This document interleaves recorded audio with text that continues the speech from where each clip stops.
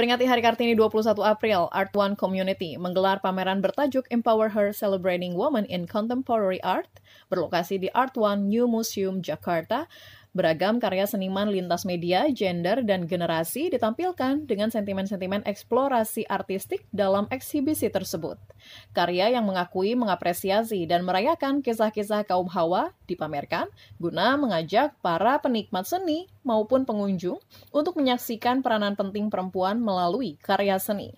Kurator pameran ini, Smita Parama, menyampaikan proses kurasi dari total 120 karya yang terdaftar disortir menjadi 30 karya lalu diseleksi kembali sesuai ruangan dan tema sehingga 13 karya oleh 13 seniman dari seluruh penjuru Indonesia terpilih dalam pameran Empower Her. Karya seni kontemporer yang terpilih tersebut terdiri dari beragam gabungan media dan teknik seperti sulaman, benang, kardus, kanvas, hingga stiker yang menonjolkan kisah perempuan dalam narasinya bersama karya konvensional lainnya. Educational tujuannya yang jelas. Dan sekalian itu untuk yang melihat terus kalau untuk senimannya sendiri kita mau kasih ruang obviously apalagi seniman perempuan.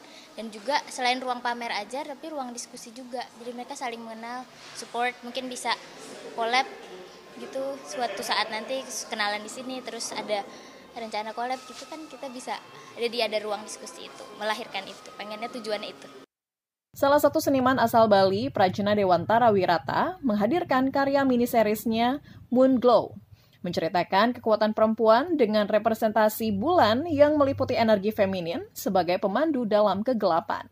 Ia berharap dengan berpartisipasi dalam pameran ini dapat menunjukkan privilege perempuan yang merupakan simbol kekuatan, bukanlah kelemahan.